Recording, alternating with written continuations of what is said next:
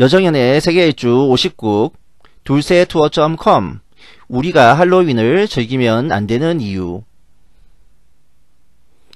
우리가 할로윈을 경축하면 안 되는 이유는 이교도 축제를 막기 위하여 5월 13일에서 11월 1일로 옮긴 모든 성인의 날을 훼손하는 것이며 곡식을 태우고 죽은 자를 쫓기 위한 의상을 입고 케이트족의 죽음의 신으로 알려진 사후인을 기념하는 행사를 할 필요가 없기 때문입니다.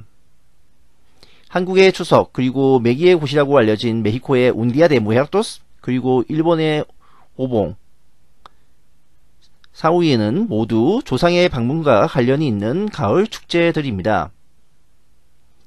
그런데 할로윈에 특별히 기괴한 분장을 하는 것은 악령인 9시가 방문한다고 하고 악령의 옷을 입어 있는 것이 특징입니다.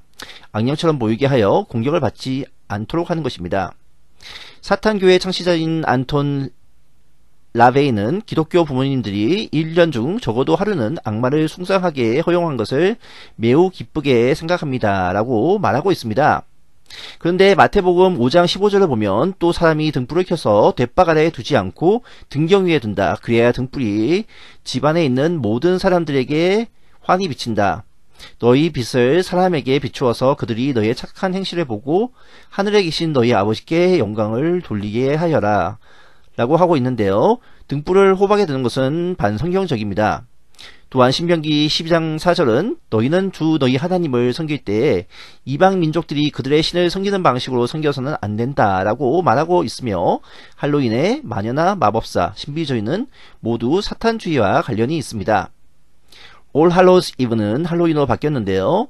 성인들을 위하여 묵상과 기도하는 날이며 이날에 분장과 낙서를 하는 것은 순교한 성인들을 올바르게 기리는 것이 아닙니다.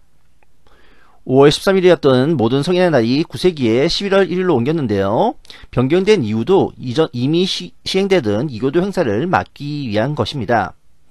한국에서 추석이 있음에도 특별히 할로윈을 즐기는 사람들이 늘어나는 것은 사후인을 섬기는 미국이나 영국들이 영국이 패권 국가이기 때문이고 일부 마케팅 기업들의 전략 때문입니다. 네, 지금까지 우리가 할로윈을 즐기면 안 되는 이유에 대하여 살펴보았습니다. 이단 문제에 관심이 많다면 구독과 좋아요를 눌러주시고 제 채널에 있는 다른 재미있는 영상들도 살펴보시기 바랍니다. 감사합니다.